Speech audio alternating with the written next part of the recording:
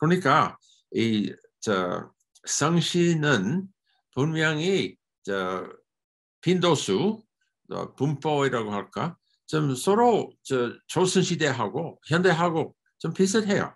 갑자기 20세기 들어오면은 모든 노비는 김씨가 되는 것이 아닙니다.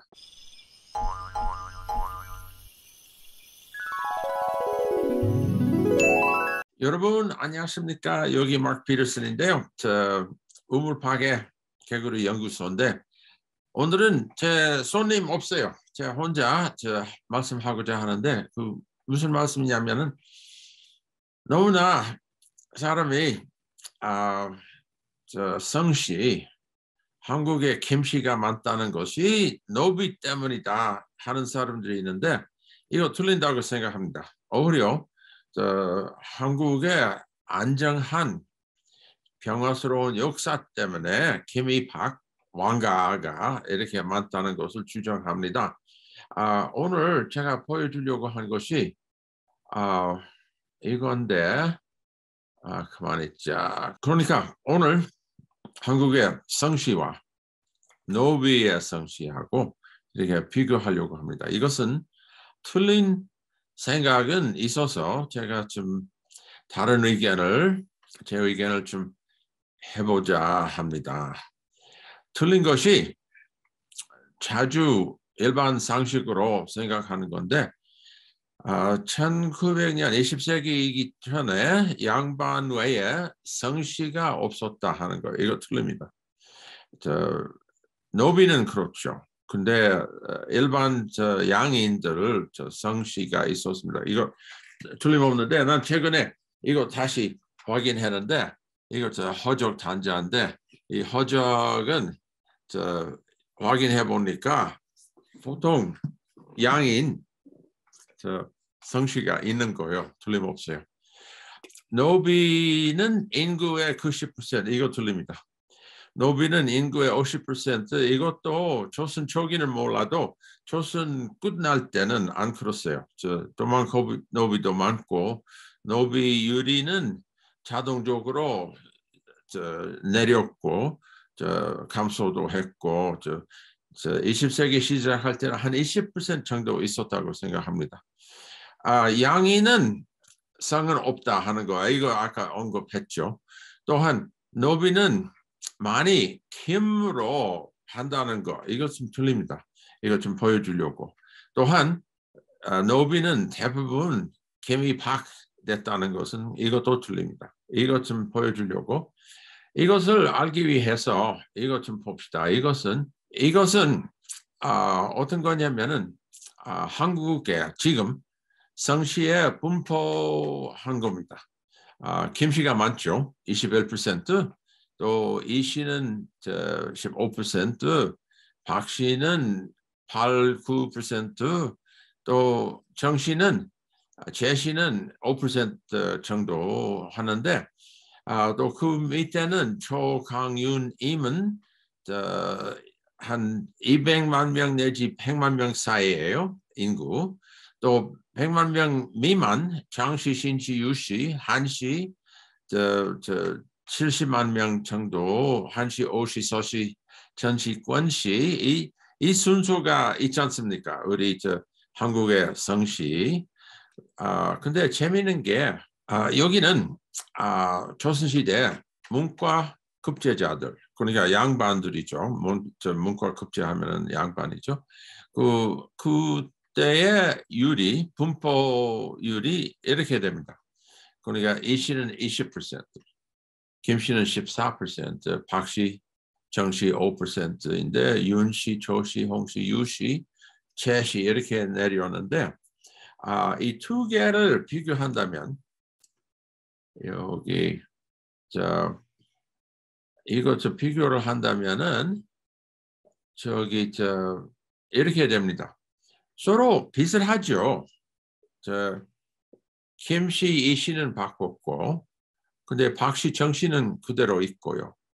아, 근데 그 다음에는 조씨는 저, 저 강씨는 조금 밑에 있지만 윤씨, 임씨 아, 이렇게 서로 서로 좀 비슷한 것이라고 생각합니다. 이것도 조금 자세히 본다면은 어, 우리 여기 숫자는 얼마나 차이가 있는지 제가 계산했습니다. 얼마나 감소한지, 얼마나 중소, 증가한지 이렇게 저 비교하는 거 있어요. 이거 조금 자세히 봅시다. 아, 아 그거 보기 전에 여기 좀 재미있는 게 한국 성씨는 특수해요. 아주 특수해요. 저 제가 첫 번째 만든 비디오, 유튜브 비디오가 영상, 저 우물밖에 개구리 한 비디오는 저 성씨 관계 한 겁니다. 그때는 제가 왜 김, 이, 박 많으냐 한 거요. 너무 이상하다고 했잖아요. 제 첫 번째 비디오. 아주 한국에 유일한 뭔가 하나 있다고 좀 생각한 거요. 그러니까 뭐, 뭐냐 하면은 제 가설에 저기 저 한국에는 왕조가 오래 가고 왕조가 무너질 때 넘어갈 때는 평화스럽게 했었습니다. 그러니까 김입학은 저기 소라볼 하고 저기 저 가야서부터 내려온 성씨인데 그저 반란한 것이 없어서 그 성씨가 없어진 거 아닙니다. 좀 생각합니다. 그러니까 한국의 성씨가 김씨, 이씨, 박씨 많다는 것뿐만 아니라 조씨, 윤씨, 장씨, 한씨, 오씨 그도 많아요. 미국의 제일 많은 성은 뭐요? 스미스이죠. 모두 아시죠? 스미스. 둘째는 존슨, 세 번째는 윌리엄스, 네 번째는 존스. 근데 스미스, 존슨, 존스, 윌리엄스 모두 1%가 안 돼요. 미국의 인구에. 한국에 비교하면 어디서 나옵니까? 그것은 바로 배, 백, 허, 노, 남씨. 그 같은 이름입니다. 그러니까 보니까 아주 미국 성씨 분포 하는 거하고 한국의 분포는 완전히 다르다고 좀 생각돼요. 그러니까 여기서 아, 그 조금 확대했는데 그 저, 감소한 또 증거한 유리 좀 봅시다 이겁니다. 또 조금 더 보기 위해 여기 빨간 글로 했습니다. 그러니까 아, 이 시는 5% 정도 저, 저 감소했어요. 그런데 김 씨는 7% 늘었어요. 아, 증가한 거요. 그런데 박 씨도 증가했고 정 씨는 똑같아요. 같은 유리예요. 그러니까 왜 어느 성씨는 인구에 비해서 많이 올라가는가? 왜 어느 정도 내려가는가? 그것은 아마 저 노비 때문이라고 생각됩니다.